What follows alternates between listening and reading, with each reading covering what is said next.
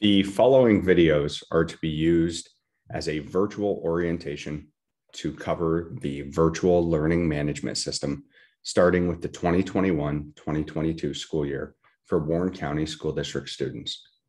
Before getting into the learning management system, the first video will cover some supplemental websites that are helpful for student learning, as well as showing how to access the logon for students in the Warren County School District's virtual learning system. First, we'll start with the Warren County School District website, wcsdpa.org. From here, there are a number of useful supplemental websites for students to access in order to enhance their learning. If hovering over the For Students tab, you'll get a drop-down menu with various different things that you can log into. The first is ClassLink. ClassLink takes all of your apps that are associated with any courses that you're loaded in and puts them into one place so that you have a single sign on. BrainFuse is the district's new 24 7 online tutoring application. Students can log on at any time of day, ask questions, look up topics associated with their learning, and even submit essays to get somebody to look through, proofread, and edit before turning an essay in.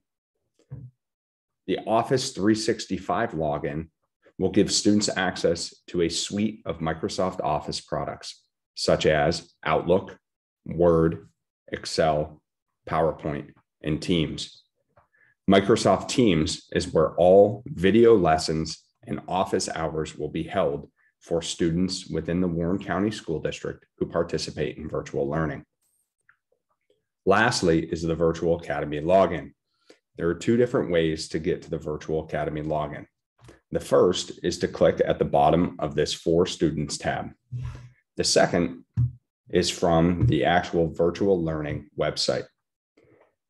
If you choose on the right-hand side, the select a site and scroll down to virtual learning, this will take you to our current Warren County School District virtual learning website.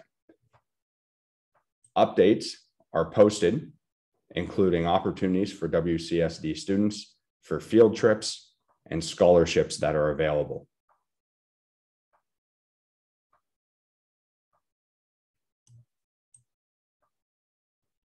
Closer to the top of the website is our second way of getting to the virtual learning logon page. You can click here to get to the student login.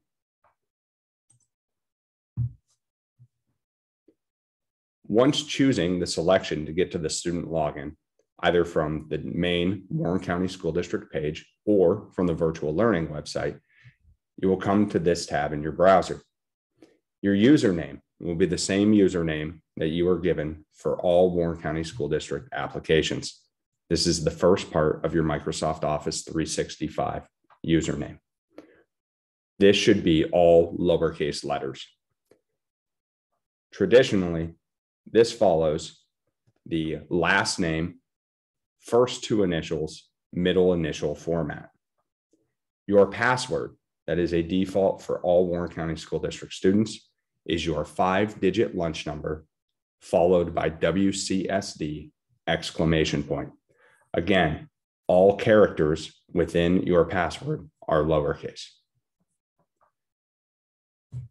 The next video in the series will cover the student main page.